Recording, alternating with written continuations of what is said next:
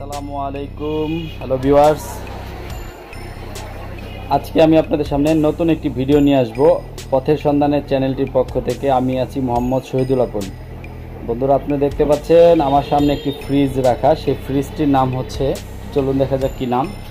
ফ্রিজটির নাম হচ্ছে Toshiba no frost Toshiba fridge no frost no frost মানে এটাই যে ফ্রিজের মধ্যে যা কিছুই রাখেন মাছ গোস্ত এক্সট্রা কোনো বরফ পাবেন না মাছ গুস্তটাই শুধু বরফ হবে। এই জন্য এটাকে নো ফ্রোস্ট ফ্রিজ বলা হয়। এটার মধ্যে এক্সট্রা বরফ কম। তো বন্ধুরা ফ্রিজটিতে সংযোগ দেওয়া আছে। আপনারা দেখতে পাচ্ছেন এই যে ইলেকট্রিক সংযোগ দেওয়া। ইলেকট্রিক সংযোগ দেওয়া আছে। কিন্তু তারপরও ফ্রিজে ঠান্ডা হচ্ছে না। এই জন্য আমার কাছে আসছে আমি চেষ্টা করব এই ফ্রিজটি সমাধান করার জন্য কী জন্য ঠান্ডা হয় না। চলুন দেখা যাক। দেখেন বন্ধুরা নর্মালে লাইন আসছে। কোনো ঠান্ডা নাই। এই যে ইন্ডিকেটার বাতি মানে ল্যাম্প পোস্ট যেটা আপনার ফ্রিজের মধ্যে নর্মালে থাকে, সেই বাতি জ্বলছে। দেখেন কোনো ঠান্ডা নাই ফ্রিজের মধ্যে। তার মানে ফ্রিজে সংযোগ দিয়েছে ফ্রিজে ঠান্ডা হচ্ছে না। এ হচ্ছে ডিপ ডিপের মতো দেখেন কোনো ঠান্ডা নাই। যদি ঠান্ডা থাকতো তাহলে এখান দিয়ে কুয়াশার মতো কিছু একটা বের হতো। যেহেতু ঠান্ডা নাই, তাহলে কুয়াশার মতো কিছু বের হচ্ছে না। তাহলে আমরা এখন প্রথমে কি করব? প্রথমে হচ্ছে আমরা আগে দেখব বডিটি ফ্রিজের যে বডি বডিতে কোনো হিট আছে কিনা। তো বন্ধুরা, আমরা দেখতে পাচ্ছি ফ্রিজে পর্যাপ্ত পরিমাণ হিট আছে বডিতে তার মানে আমার গ্যাসে কোনো সমস্যা নেই। ফ্রিজ হিট হচ্ছে বডি প্রচুর হিট আছে। তার মানে আমার কোনো গ্যাসে কোনো প্রবলেম নাই। তাহলে সমস্যাটা কি? নো ফ্রোস্ট ফ্রিজের মধ্যে বডিতে হিট এসে পড়েছে, অনেক হিট আছে বডিতে নো ফ্রোস্ট ফ্রিজের মধ্যে কিছু পার্টস পাঠিয়েছে যে পার্টসগুলোর কারণে এইরকম সমস্যা হয়। Timer cooling overload thermal fuse এই সব ধরনের পার্টস থেকে সমস্যা হতে পারে। আমরা সেগুলো চেক করব, কি কি সমস্যা। তারপর আপনার হিটার আছে। যেটা যেটা সমস্যা থাকুক না কেন, আমি সেই সমস্যাগুলো বের করে সমাধান করার চেষ্টা করব। বন্ধুরা, আপনারা আপনারা আমাদের সাথেই থাকুন। দেখুন আমরা কীভাবে নৌকোষ ফ্রিজটি নষ্ট ফ্রিজটি ঠিক করে আবার সচল অবস্থায় ফিরিয়ে নিয়ে আসি। ফ্রিজটি মেরামত করার জন্য আমরা প্রথমে সংযোগটি বন্ধ করব। লাইনটি খুলে ফেলব প্রথম। লাইনটি খুলে ফেললাম। এখন আমরা ডিপের মধ্যে ডিপের মধ্যে যে অংশটি আছে, এটা খুলবো। এই ডেশবোর্ডটি খুলবো। খোলার পর এখানে একটা আরেকটা জিনিস আছে ডেশবোর্ডের আরেকটা অংশ রয়ে গেছে, ককশিট।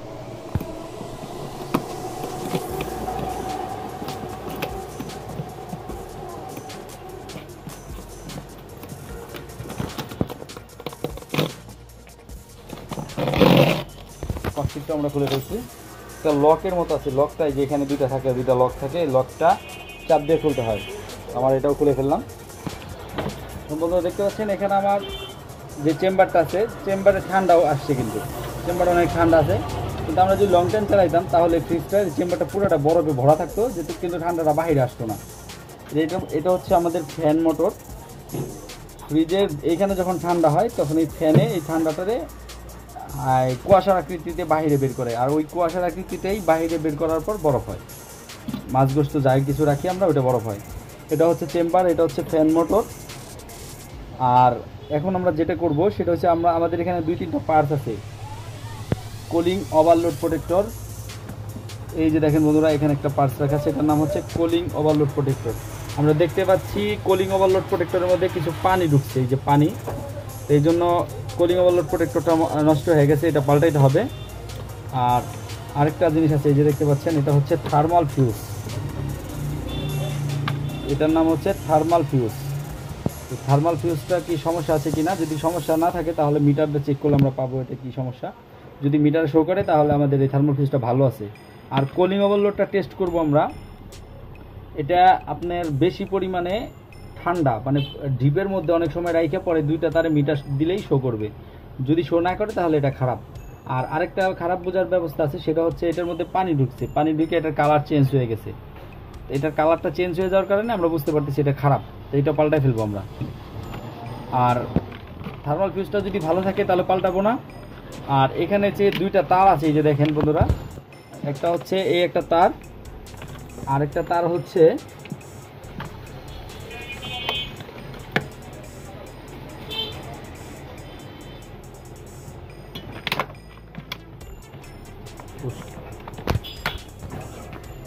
বন্ধুরা এই একটা তার, আর একটা তার হচ্ছে এই যে এই একটা তার। এই দুইটা তার আমাদের হিটারের এই একটা তার এই একটা তার।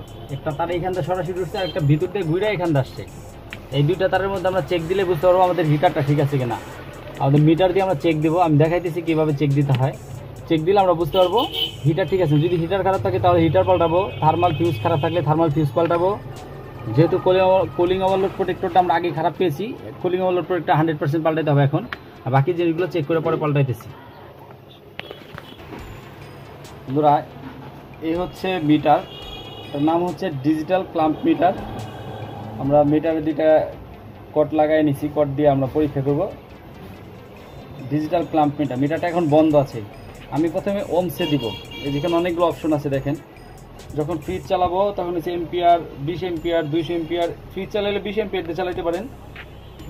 আর এখানে আছে দুইশো এমপিআর এসি চালাইলে আপনি দুইশো এমপিআর দিয়ে চালাইতে পারেন। আর বোল্ট মাপার জন্য আছে চারশো এ চারশো পঞ্চাশ বি বিভিন্ন অপশন আছে এখানে। আপনারা দেখে এটা মিটার মিটার সম্পর্কে আরেকটা ভিডিও আমরা দিব পরে। মিটার সম্পর্কে আপনারা যাই না, বুঝে পরে মিটার ইউজ করবেন। আর এখানে একটা সংকেত আছে যে স্পিকারের মতো দেখতে পাচ্ছেন। এই সংকেতে আমরা মিটারটা দিব, চালু করব মিটারটা সংকেত দিলাম। এই যে স্পিকারের মতো, এটা হচ্ছে আপনার ওমস বলি আমরা। এই এই সংকেত দিয়ে আমরা মিটার দিয়ে চেক করব। এই দেখতে পাচ্ছেন বন্ধুরা মিটার অন হয়েছে। এই যে দুইটা মাথায় এক করলে একটা শব্দ হয়। আবার ছেড়ে দিলে শব্দটা বন্ধ হয়ে গেল। এভাবে আমরা চেক করব। তাহলে দেখ- দেখা যাক। প্রথমে আমি থার্মাল ফিউজ থার্মাল ফিউজের দুইটা অংশ খুলব। এ হচ্ছে থার্মাল ফিউজ আমি থার্মাল ফিউজটা খুললাম।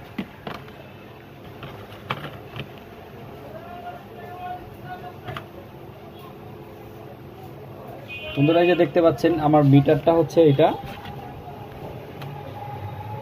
দেখেন আমি যে থার্মাল ফিউজের এক মাথায় একটা ই ঢুকাইছি আরেক মাথায় যে এরকম হাত দিয়ে টাচ করব। যে বন্ধুরা, এটা আমার থার্মাল ফিউজ ঠিক আছে যে কোনো শব্দ করতেছে মিটারে দেখতে পাচ্ছেন? মিটারে শব্দ করছে, তার মানে আমার থার্মাল ফিউজটা ঠিক আছে। এখন আমরা যে কাজটা করব, যেহেতু ঠিক আছে, এটা বাদ, এটা আমরা আর- চেঞ্জ করব না। এখন যে কাজটা করব, আমরা কোলিং ওভারলোডটা আগে খারাপ পেয়েছি কোলিং কোলিং ওভারলোডটা আমরা ঠিক করব। দুইটা লক আছে এখানে লকটা দিয়ে চাপ দিলে খুলে যাবে। এই যে খুলে গেছে। কুলিং ওভারলোডটা আমরা পাল্টাবো। এখন যে কাজটি আমরা করব আমাদের আরেকটি কাজ বাকি আছে সেটা হচ্ছে হিটার হিটারটা আমাদের ঠিক আছে কিনা আমরা একটু চেক দিব। এই যে হিটারের একটা মাথা। হিটারে আপনি মিটারের শব্দ নাও করতে পারে কারণ হিটারের রেজিস্ট্যান্স বেশি। এ হচ্ছে হিটার এক মাথা। আর হিটারের এই যে আরেকটা মাথা আছে এখানে। চেক দেবো আমার হচ্ছে হিটারটা ঠিক আছে কিনা?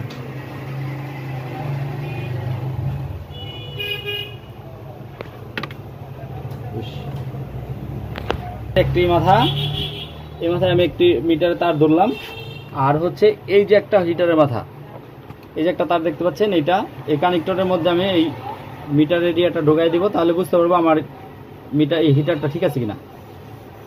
বন্ধুরা, এই যে দেখতে পাচ্ছেন, আমার হিটারও ঠিক আছে। হিটারের মধ্যে আমি হিটার নক করার পরেই মিটার কিন্তু শব্দ করছে। তার মানে আমার হিটারও ভালো আছে। আমার সমস্যা হচ্ছে সমস্যা হচ্ছে শুধু কোলিং ওভারলোড থার্মাল ফিউজও ভালো আছে, হিটারও ভালো আছে। আর আরেকটা যে, এই দুইটা পার্টস আমরা এখন পাল্টাবো। তো বন্ধুরা, এই হচ্ছে কোলিং ওভারলোড একদম নতুন কোলিং ওভারলোড আমি এই কোলিং ওভারলোডটি এখন লাগাবো। প্যাকেটটি এরকম, এটা বিভিন্ন রকমের হয়। এটা হচ্ছে টু পিন কোলিং ওভারলোড আমরা এই এই কোলিং ওভারলোডটি এখন এটার মধ্যে লাগাবো। তাহলে আমাদের প্রথমে কি করতে হবে? প্রথমে হচ্ছে আমি কোলিং ওভারলোডটি বের করব প্যাকেট থেকে। কোলিং ওভারলোডটি বের করলাম। এখন একটি কাজ করতে হবে আপনাদের, সেটা হচ্ছে এই কলিং ওভারলোডটি পুরানো, এই কলিং ওভারলোডটি চেঞ্জ করে নতুনটি লাগাবো। আমরা আগে একবার চেঞ্জ করা হয়েছিল এটা। এখানে দেখতে পাচ্ছেন কস্টিপ দিয়ে সংযোগ করা। আমরা এই যে কানেক্টরটি রেখে দিব। নতুন কলিং ওয়ালটির সাথে এই কানেক্টরটি সংযোগ করে পরে ওইখানে কানেক্টরের সাথে অ্যাডজাস্ট করে দিতে হবে। নয়তো আপনি কানেকশন করতে পারবেন না। এই জন্য আমাদের এই কানেক্টরটি আগে খুলে নিতে হবে।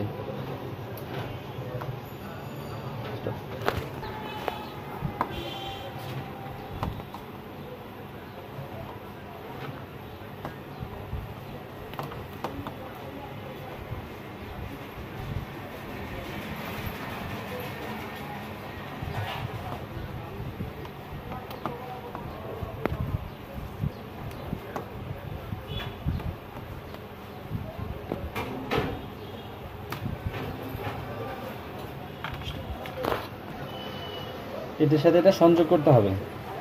কিন্তু একটা জিনিস মনে রাখবেন, এই সংযোগটা করার সময় খুব শক্ত করে সংযোগটি করতে হবে, যাতে কোনো লুজ কন্ট্যাক্ট না হয়। ঝালাই করে দিতে পারলে ভালো। আমার তাতালটা সমস্যা, এই জন্য আমি ঝালাই করতেছি না। খুব ভালো করে কানেকশনটি করতে হবে। দেখতে পাচ্ছেন, আমি চেষ্টা করছি ভালো করে করার জন্য।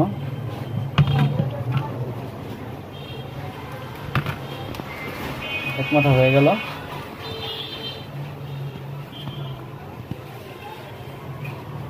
এখন আরেকটি মাথা, এই ঠিক এরকম করেই পুরো দুইটা মাথা খুব সুন্দরভাবে কানেকশন করতে হবে।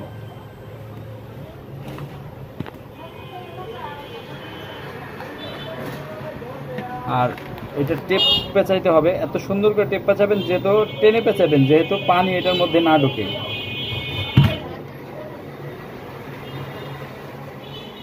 কস্টেপ পেঁচাই পেঁচাই দিয়েছি আমি, দেখেন। কস্টেপটা পেঁচানোর মধ্যে একটু টেনে টেনে পেঁচাইতে হবে এরকম। যেহেতু এটা লুজ থাকলে এটার মধ্যে পানি হবে, কারণ ভিতরে যেহেতু বরফ থাকবে, তাহলে তো পানি ঢোকাটাই স্বাভাবিক। এই জন্য কস্টেপটা খুব সুন্দর করে পেঁচাতে হবে।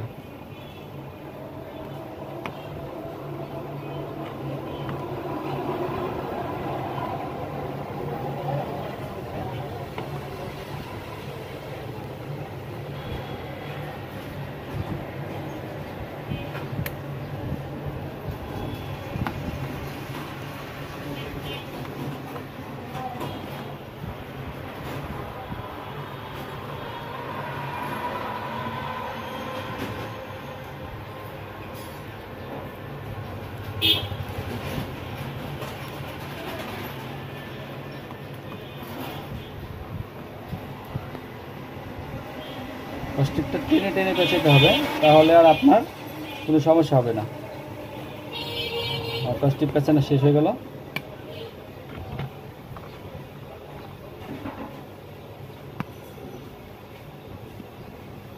ঠিক এরকম করে কস্টিক পেঁচাই নেবেন।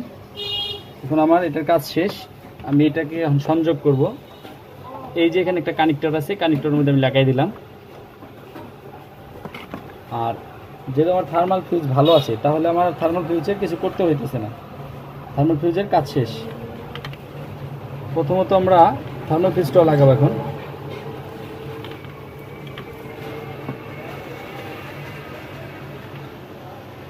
থার্মাল ফিউজটি সংযোগ করতেছি।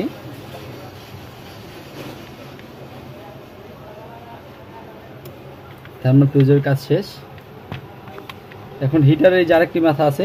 এই মাথাটাও আমি যে এখানে আরেকটি পয়েন্ট আছে পয়েন্টে সংযোগ করে দেব। আমার সম্পূর্ণ সংযোগ শেষ। এই কলিং ওভারলোডটি আমার লাগানো শেষ। এখন একটি কাজ করবেন কলিং ওভারলোডটি কোথায় বসাবেন? এখানে একটি চেম্বারের একটি রিসিভার আছে বন্ধুরা দেখতে পাচ্ছেন এই যে রিসিভার এই রিসিভারের পাশে এই কলিং ওভারলোডটি ঠিক এরকমভাবে বসাবেন। বসে এরকম একটি ক্যাবল ক্লিপ ক্যাবল ক্লিপ দিয়ে এটা আটকে দিবেন। যদি কারও কাছে কেবল ক্লিপ না থাকে, তাহলে একটি তারের টুকরো ছিলে, ভিতর থেকে তামার একটি অংশ বের করে পরে ওইটা দিয়ে আপনারা বেঁধে দিবেন এটাকে।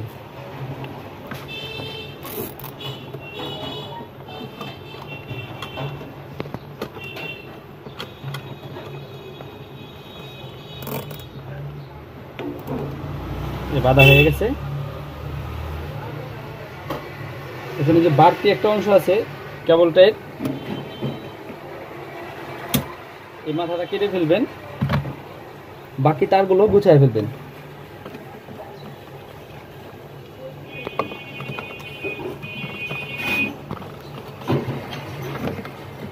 এখানে একটি ক্যাবল বক্স আছে। কেবল বক্সের মধ্যে আপনার সম্পূর্ণ ক্যাবলগুলো সাজায় দিবেন।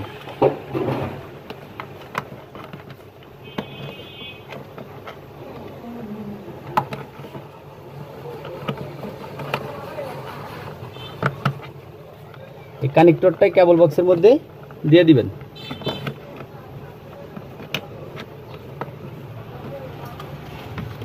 আর থার্মাল ফিউজটা হচ্ছে, এই যে দেখুন, এই দুই চেম্বারের চেম্বারের একটা মাঝখানের অংশ আছে, এটা দিয়ে এরকম করে ঢুকাই দিবেন। নিচ দিয়ে দিতে পারেন, সমস্যা নাই।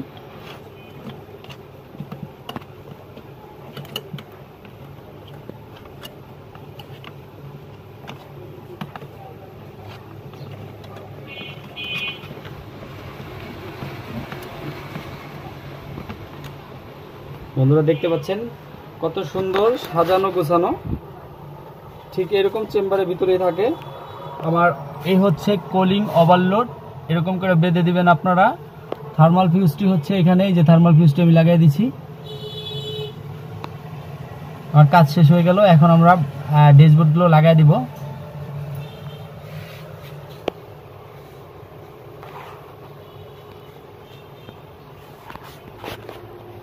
বন্ধু, এই এই যে দেখতে পাচ্ছেন, এই ড্যাশবোর্ডটা এখন আমি লাগাই দেব।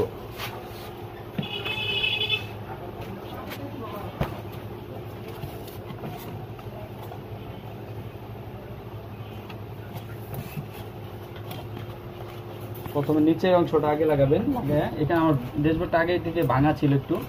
এটা ভাঙা পয়েন্টে পয়েন্টে মিলাই দিলেই হবে।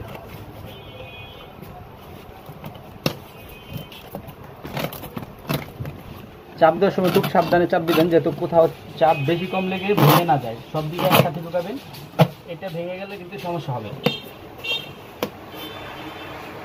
আমার ড্যাশবোর্ডটি লাগানো হয়ে গেল? এখন উপরের অংশটা বাকি আছে। দেখতে পাচ্ছেন যে আমার উপরের অংশটা, এটা আমি লাগাই দিব এখন। এখানে দুইটা লক আছে, একটা একটা, তিনটা লক আছে, একটা, দুইটা, তিনটা। তিনটা লক তিনটা লক এই যেরকম দেখেন, তিনটা জায়গায় বসবে। আর এখানে একটা বিট আছে বিটের মধ্যে তিনটা লক তিনটা দিয়ে দিব। এই জায়গায় দেখেন। ঠিক এরকম তিনটা লক দেওয়ার পরে এরকম করে আস্তে করে উঠায়, পরে এরকম চাপ দিব। এইখানে একটা লক আছে, এখানে একটা লক আছে। এখন এই বাকি জায়গাটা ফুলে আছে, এটা চাপ দিলেই লেগে যাবে। আমার কাজ শেষ।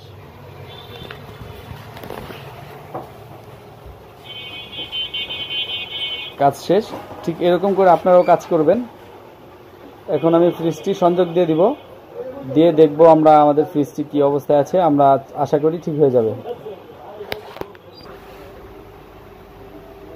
ফ্রিজটি তিন ঘণ্টা সংযোগ দেওয়ার হলো সংযোগ দেওয়ার পর আমরা চেক করলাম। তিন ঘণ্টা সংযোগ দেওয়ার পরে আমার কাছে মনে হলো আরও একটা সমস্যা রয়ে গেছে।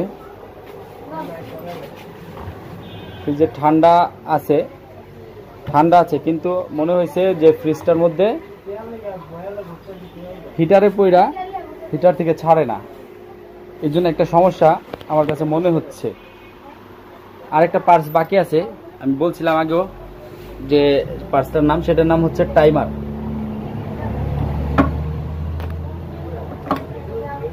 আপনি দেখতে পাচ্ছেন এই যে, এই পার্সটার নাম হচ্ছে টাইমার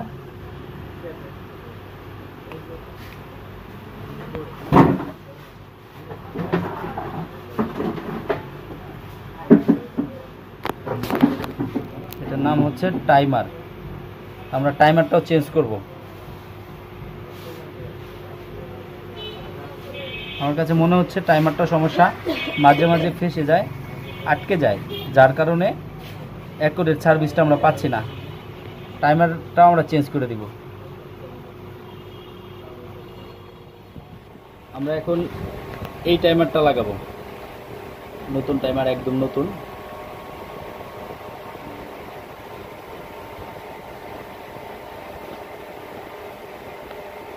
এই টাইমারটা আমরা এখন লাগাবো। আগে লাগানো আছে এটা। এটা পরিবর্তন করে এটা লাগাবো। টাইমার লাগানো একদম সহজ। আপনারা চাইলে যে কেউ লাগাইতে পারবেন। পিছনে এখানে একটা কাবার থাকে। সেই কাবারটা যদিও ভাঙা হয় যে এরকম। কাবারটা ভাঙা কাবারের মধ্যে এই টাইমারগুলো সেটিং করা থাকে। তো ওটা কাবার ভাঙা, তাতে সমস্যা নাই, আমরা অন্যভাবে মডিফাই করে লাগাবো। তো এখন টাইমারের এখানে একটা যে কানেক্টর আছে যে দেখতে পাচ্ছেন, এই কানেক্টর কানেক্টরটি এরকম টান দিব। এই যে টান দেওয়ার পর দুইটা আলাদা হয়ে গেছে। আলাদা হয়ে যাওয়ার পর একটা বিষয় আপনারা মাথায় রাখবেন। দেখেন টাইমারের এখানে এই যে একটা সাদা একটা পার্ট আছে, এই যে পিনের মতো। আর এই কানেক্টরের মাঝখানে একটা গ্যাপ আছে। এই যে দেখেন, এই গ্যাপটা ওই সাদা পিনের এরকম ঢুকে যাবে। ঠিক এরকম এটার মধ্যে আছে, এটা মিলিয়ে লাগাইতে হবে। এটা কিন্তু এই যে এইটার সাথে মিলছে না, তার মানে এটা কানেক্টরটা এইভাবে ঘুরাইলেই মিলে যাবে। তো এখন এইভাবে আমরা ঘুরাই, এটা টাইমারটা এটার সাথে পড়াই দিলাম। যে আমার টাইমার লাগানো শেষ। এখন আমরা যে কাজটি করব, যেহেতু ফ্রিজটা বক্সটা এখানে নাই, সমস্যা, তাহলে টাইমারটা এই যেরকম একটা পলিথিনের মধ্যে আমরা দিব এভাবে এভাবে দিয়ে আটকায় দিলাম। আটকানোর পর এই বক্সটা ভাঙা বক্সটা এটা আমরা লাগাবো এখানে। এখানে টাইমারটা বসাই দিলাম। বসানোর পর এটা আমরা বাইন্দা দিব এইভাবে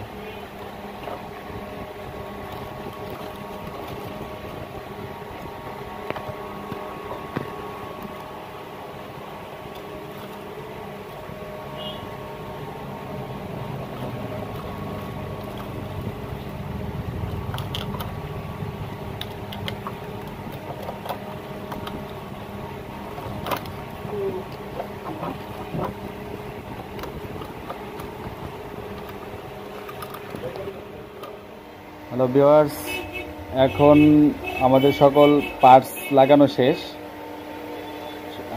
এখন আমরা যে কাজটি করব সেটা হচ্ছে, যেহেতু আমাদের সকল পার্টস পাতি যা কিছু সমস্যা ছিল সব আমরা লাগানো শেষ করলাম। তো এখন আমরা ফ্রিজটিতে সংযোগ দিয়ে দিব লাইন দিয়ে দিব।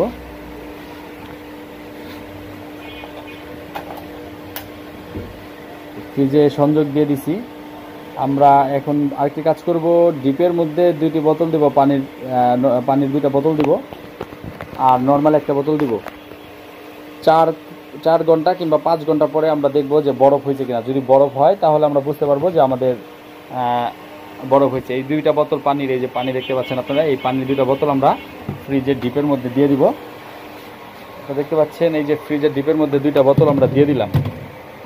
দুইটা বোতল ফ্রিজের ডিপের মধ্যে দিয়ে দিলাম। আমরা এখন ফ্রিজটা আটকাই দিলাম। ফ্রিজটি আটকাই দিলাম। আরেকটি বোতল আমি নর্মালে দিব ফ্রিজে এই বোতলটি যে দেখতে পাচ্ছেন। নর্মালে দিলে নর্মাল তো আর বরফ হবে না। জাস্ট ঠান্ডাটা চেক করার জন্য যে নর্মালে ঠান্ডা ঠিক আছে কিনা। তো আমরা এই দেখেন ফ্রিজে লাইন দিয়ে দিছি লাইন আছে। আমরা এই বোতলটা এখানে ফ্রিজের নর্মালের মধ্যে রাখলাম। ফ্রিজের ল্যাম্প পোস্ট জ্বলতেছে ল্যাম্প জ্বলতেছে। তো আমরা এখন ফ্রিজটি চালানোর পর আমরা আটকে দিলাম। চার ঘণ্টা কিংবা পাঁচ ঘণ্টা পরে আমরা দেখব এই বোতলগুলোর অবস্থাটা কি। যদি ঠান্ডা ঠিক থাকে, তাহলে আমরা বুঝব যে বোতলটা বরফ হয়েছে কিনা। যদি বোতল বরফ হয়, তাহলে আমাদের কাজ শেষ। আর নর্মালে পরিমাণ মতো ঠান্ডা আসছে কিনা। দেখতে পাচ্ছেন ফ্রিজটি পাঁচ, ছয় ঘণ্টার মতো চালানো হয়েছে। এখন আমরা ফ্রিজের পানিগুলো দেখব যে বরফ হয়েছে কিনা। যদি বরফ পরিপূর্ণভাবে হয়ে থাকে এবং নর্মালে ঠান্ডা পরিপূর্ণভাবে এসে থাকে তাহলে আমাদের কাজটি শেষ। চলুন দেখা যাক। বন্ধুরা, আপনারা দেখতে পাচ্ছেন কুয়াশা বেরোচ্ছে এই যে কাল এই যে পাঁচ, ছয় ঘণ্টা আগে দুইটা বরফের বড় পানির বোতল দিয়েছিলাম, একদম ফেটে একটা ফেটে গেছে অলরেডি দুইটাই ফেটে গেছে। বরফ হয়ে গেছে, দেখতে পাচ্ছেন। মানে আমাদের কাজটি সাকসেসফুল পরিপূর্ণ হয়ে গেছে। আমাদের ফ্রিজে যা সমস্যা ছিল, সেই সমস্যাগুলো আমরা সমাধান করতে পেরেছি। তো বন্ধুরা, এখন চলেন দেখা যাক নর্মালের অবস্থাটা কি। এই হচ্ছে নর্মালের মধ্যে যে পানির বোতলটা হ্যাঁ নর্মালও পরিপূর্ণ ঠান্ডা হয়ে গেছে। এই যে পানি প্রচুর ঠান্ডা হয়েছে পানি। আপনি দেখতে পাচ্ছেন পানিটা আগে ছিল একদম ক্লিয়ার এখন কি এরকম ঘোলা ঘোলা বোতলটি। মানে অনেক ঠান্ডা হয়েছে। তো বন্ধুরা আমার আজকের ভিডিওটা এই পর্যন্তই। আজকের ভিডিও এই পর্যন্তই, বন্ধুরা। নর্মাল এবং ডিপ